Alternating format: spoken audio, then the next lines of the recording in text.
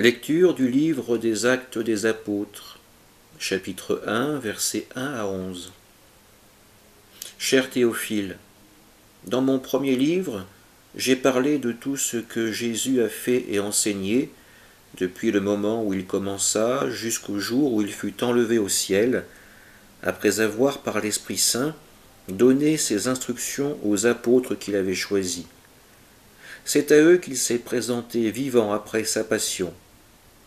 Il en a donné bien des preuves, puisque pendant quarante jours il leur est apparu et leur a parlé du royaume de Dieu.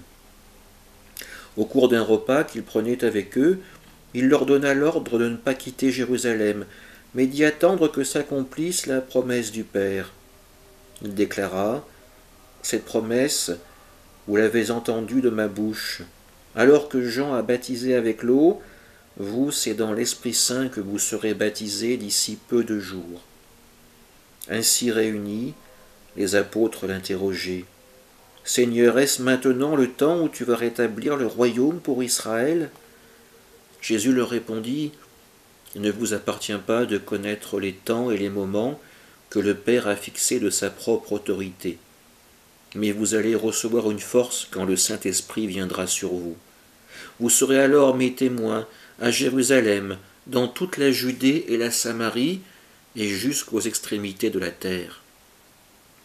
Après ces paroles, tandis que les apôtres le regardaient, il s'éleva, et une nuée vint le soustraire à leurs yeux.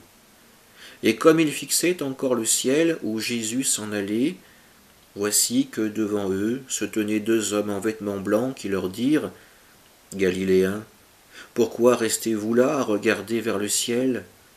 Ce Jésus qui a été enlevé au ciel d'auprès de vous viendra de la même manière que vous l'avez vu s'en aller vers le ciel. Parole du Seigneur. Jésus fait une annonce à ses disciples. Il leur promet encore une fois la venue de l'Esprit Saint, un baptême dans l'Esprit Saint. En tant que chrétiens, nous avons reçu ce baptême.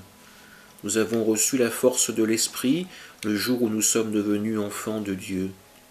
Comme les apôtres, nous avons besoin eh bien, de l'aide du Christ pour permettre à l'Esprit Saint de trouver sa place dans notre vie, de pouvoir être celui qui nous guide, qui nous donne la force de vivre notre foi, et comme les apôtres, d'annoncer cette foi au monde d'aujourd'hui.